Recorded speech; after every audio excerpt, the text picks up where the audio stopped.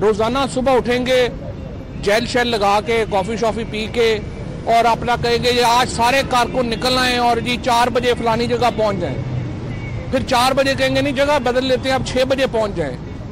ये क्या आप, ये कोई मज़ाक है? लोग मर गए हैं, पर्चे हो के लोगों का बेड़ा गर्क हो गया हज़ार आदमी इस वक्त जो है, वो जेलम जेल में था, जिसमें इमरान खान की बहनें शामिल हुई। आपका लाहौर में कोट लखपत जेल भर गई है, आपकी कैंप जेल भर गई है, पाकिस्तान की जेलें भरी हुई हैं तरीके इंसाफ के लोगों से।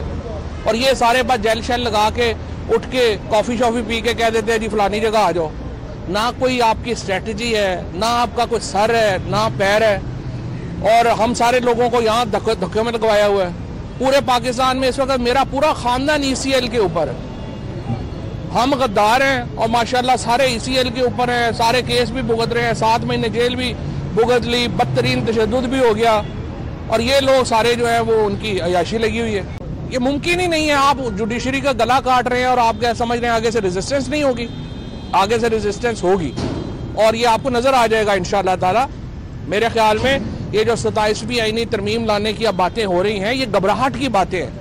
छब्बीसवीं आईनी तरमीम से आप समझते हैं कि आप ये जजों को डराने पे आ गए हैं कि जी अगर आप छब्बीसवीं पे नहीं मानेंगे ना तो हम आपका और गला दबा देंगे, हम आपकी सताईसवीं आईनी तरमीम ले आएँगे ये आईनी तरमीम है या कोई अपना चूरन का डब्बा है? हर जो, हर रोज जनाब एक नया चूरन आज छब्बीसवीं आईनी तरमीम कर लो, आज सताईसवीं कर लो तो फिर आप इकट्ठा ही यहाँ पे कोई और काम कर लें। इस तरह मुल्क नहीं चल सकता। मुल्क में लोगों की तबाही हो गई है। वर्किंग क्लास जो है सैलरीड क्लास जो है उसकी कमर टूट गई है। हमारे तेल, बिजली के पैसे देना मुश्किल हो गया है। सात महीने की बिजली देना, रोज हमें बताते हैं स्टॉक मार्केट आज सतासी हज़ार के ऊपर चली गई।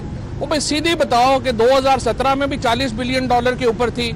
आज भी 40 बिलियन डॉलर की टोटल उसकी वैलिड है। क्या बढ़ गई है? ऐसे झूठों के ऊपर, झूठ के ऊपर मुल्क नहीं चलता। और बस इस वक्त मेरे नज़र में इमरान खान को बाहर लाने के लिए वाहिद स्ट्रेटजी पीटीआई की यही है। बुशरा बीबी और अलीमा खान आगे आए और वो पार्टी को क्यादत फराम। अच्छा आप जिन लोगों पे तनकीद कर रहे हैं आप जिन पे तनकीद कर रहे हैं वो और आवाम ये समझती है कि आपने मुश्किल वक्त में इमरान खान का तब साथ छोड़ा। आप उनको क्लैरिफाई कैसे करेंगे कि आपने साथ में छोड़ा आप पहली बात यह है कि क्या मुश्किल वक्त ख़त्म हो गया? मुश्किल वक्त तो आई हम पे है जिन पे मुश्किल वक्त नहीं आया उन पे तो आया ही नहीं है। हम पे मुश्किल वक्त है वो अभी भी जारी है। मैं ई e पे हूँ मेरे भाई e के ऊपर हैं। अड़तालीस केसेस हम भुगत रहे हैं। पता नहीं कब हम दोबारा जेल चले जाएँ। मुश्किल वक्त तो हम पे ही था और हम ही उससे गुजर रहे हैं। ये जो कोई बंदे जो कहते हैं ना कि जी, मुश्किल वक्त में तो मुश्किल वक्त उनके ऊपर तो आया ही नहीं। शोएब शाहीन पे कौन सा मुश्किल वक्त आया?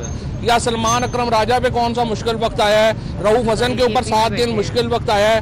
बाकी बाकी किसके ऊपर मुश्किल वक्त आया है? वो तो सारे अभी केपी जेल में केपी के सीएम हाउस में बैठे, कॉफियाँ पी रहे हैं। तो ये ऐसे बकवास है ये लोगों को ऐसे अहमकाना और मुश्किल वक्त इन वर्कर्स के ऊपर है जो सारे बेचारे अठारह एजाज चौधरी के ऊपर मुश्किल वक्त है। मुझे आप बताएँ एजाज चौधरी साहब जेल में हैं?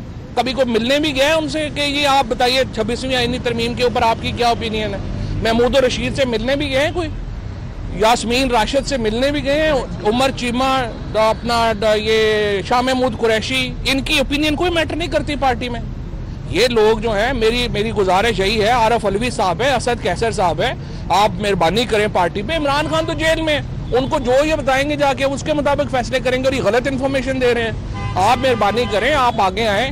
बुशरा बीबी और अलीमा खान को साथ लें और आप लीडरशिप दें। आप लोग घरों में बैठ गए जाके। अच्छा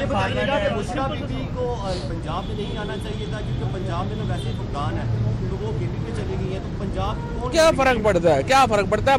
लीड तो कहीं से भी हो सकता है। जब वो फैसला तो करें ना ये रोज आके कह देते हैं जी वो सियासत में नहीं आएँगी जी उनको आना नहीं चाहिए क्यों नहीं आना चाहिए? चार सौ पचास दिन उनके खामद हो गया इमरान खान जेल में है तो बुशरा भी, भी नहीं लड़ेंगी तो कौन लड़ेगा? फॉरवर्ड ब्लॉक की क्या हैसियत है यार? ये जो सारे लोग इमरान खान के नाम के ऊपर इकोनॉमी इन्होंने बनाई हुई है फॉरवर्ड ब्लॉक की क्या हैसियत है? कोई हैसियत